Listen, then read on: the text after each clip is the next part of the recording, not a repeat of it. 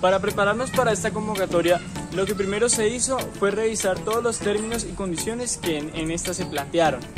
Además de revisar los trabajos previos que se han presentado a esta convocatoria de Ideópolis. A la hora de salir, eh, la convocatoria solamente fue cuestión de aplicar. Ya hemos trabajado hace algunos años, entonces teníamos el material para aplicar. El año pasado teníamos que proponer nuestro proyecto de grado, el cual pues mostraríamos en 11, o sea, este año. Y nos, hicimos, nos pusimos esa meta de, de hacer un buen proyecto para poder participar en, en Ideópolis.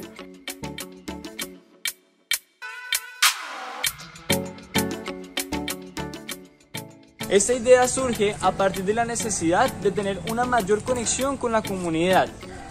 Se presentaron hechos que dejaron en visto cómo a pesar de tener un mundo tan interconectado, a pesar de eso, no nos conocemos entre nosotros. Esta idea nace ya hace algunos años, eh, gracias a una excursión que hice por la costa caribe colombiana, en donde estando en estos lugares me enfrento sobre una problemática enorme y es la contaminación por el mal uso del plástico.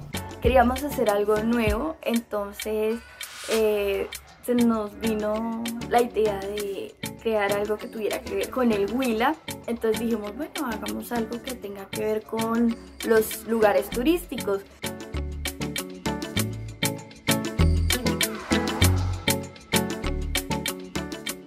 La experiencia en Ideópolis fue fantástica. Tuvimos la oportunidad de reunirnos con los otros finalistas y compartir nuestras ideas, de mirar otro mundo con otra perspectiva. Creo que es una experiencia muy enriquecedora ya que también nos obliga a nosotros a cómo nosotros sintetizar nuestros conocimientos para darle solución a cualquier problema que se nos presente. Ya que nos tocó exponer, uff, ese día teníamos unos nervios. No pude hablar y le tocó hablar a mi compañero, que mi compañero también estaba muerto de los nervios pero pues eh, lo hicimos y dimos lo mejor de nosotros. Eh, mi experiencia al pasar por Ideópolis fue la mejor. Realmente conocer personas eh, de este ámbito y proyectos de este mismo ámbito fue genial, eh, excelente ser juzgado por personas que realmente conocen y saben del tema.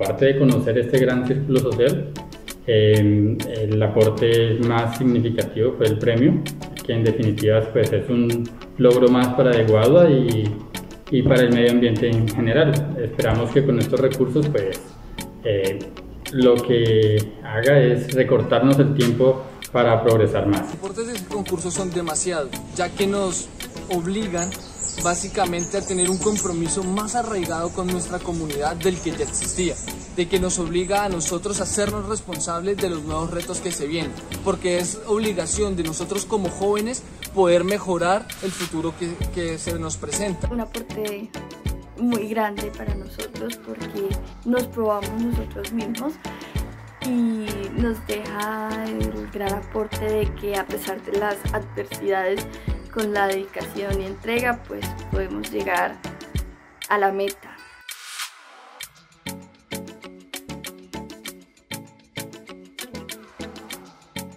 Sí lo recomendaría porque pues es una oportunidad muy grande, es una oportunidad muy buena y además de esto incentiva a los jóvenes para que pues no, no, no estemos en otras cosas y en otros lugares que pues no aportan nada bueno en nuestras vidas. A los que quieran acceder es que simplemente luchen por sus sueños, si tienen una idea, si, si hay una problemática y tienen, creen tener la solución, pues no persistir, no desistir, eh, siempre persistir.